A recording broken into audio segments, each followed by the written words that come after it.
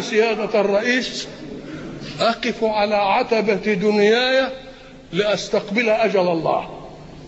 فلن أختم حياتي بنفاق ولن أبرز عن تريتي باجتراء ولكني أقول كلمة موجزة للأمة كلها.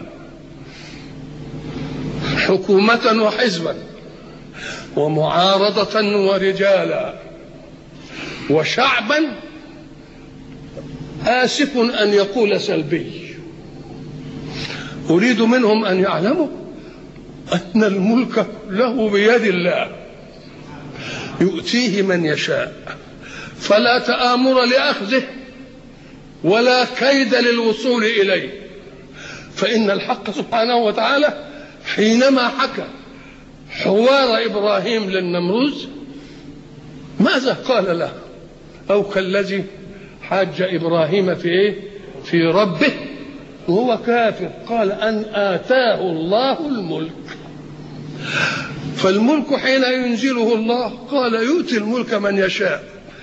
فلا تآمر على الله لملك ولا كيد على الله لحكم لأنه لن يحكم أحد في ملك الله إلا بمراد الله.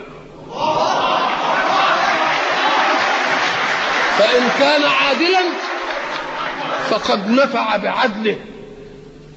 وإن كان جائرا ظالما بشع الظلم وقبحه في نفوس كل الناس فيكرهون كل ظالم ولو لم يكن حاكما. ولذلك أقول للقوم جميعا إننا والحمد لله قد تأكد لنا صدق الله في كلامه بما جاء من الأحداث. فكيف كنا نفسر قول الله ويمكرون ويمكر الله؟ وكيف كنا نفسر إنهم يكيدون كيدا ونكيد كيدا؟ الله يريد أن يثبت قيوميته على خلقه فأنا أنصح كل من يجول برأسه أن يكون حاكما أنصحه بأن لا تطلبه. بل يجب أن تطلب له. فإن رسول الله قال من طلب إلى شيء أعين عليه ومن طلب شيئا وكل إليه.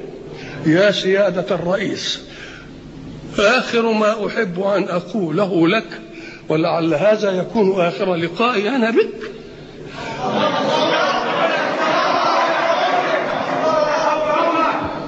إذا كنت قدرنا فليوفقك الله.